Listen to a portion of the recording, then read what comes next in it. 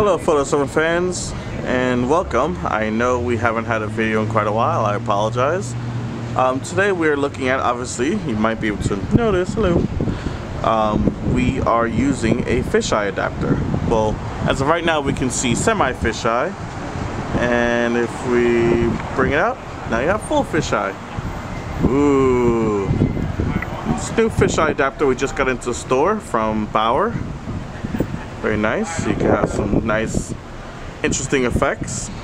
Like I said, it is an adapter, so it's not a true fisheye lens, or and it's not a true um, semi-fisheye either. But here we have a full fisheye effect. If we zoom in a bit, now we have like a semi-fisheye effect, which either way is really neat. Zoom in a little bit. Right now I am using an 18 to 55, or at least the equivalent to it, 14 to 42 from Panasonic. I am using the G2. Actually, would not. See here, you really can't notice too much. But when we bring it out this way, we notice the curving of the um, street here. We notice the curving of the buildings on top. Now, the more we zoom in, we lose that effect much more. Now we're basically back to almost a standard video. Boring, boring, boring. No one wants to see that. Go back a little bit. We could even get a little bit of vignetting if we want, kind of play with it.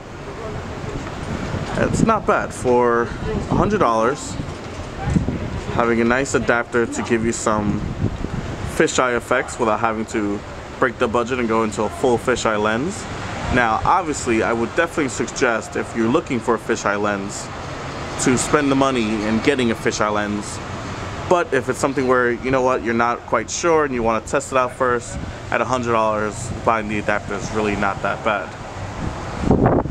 Alright, thanks a lot from the Photo Summit. Um, I'm going to give you part two to show you what the adapter actually looks like. Alright. Okay, welcome to part two. We are showing off what the adapter actually looks like. Um, the adapter will fit basically on any lens. It does come with um, the ring adapters, which is right. Oops. Which is right here. You can see it's actually telling us it's a 55 to 58. Uh, I apologize, 52 to 58.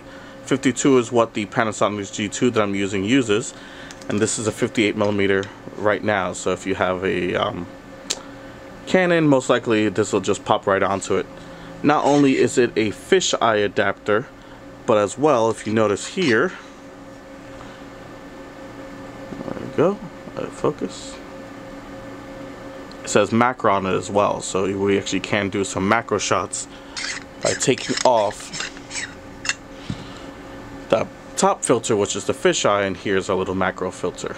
So it's really nice. It's kind of a, you know, all-in-one type of thing. Like I said, you don't have to worry about having to buy a separate adapter. Um, it's going to come everything that you need right in the box.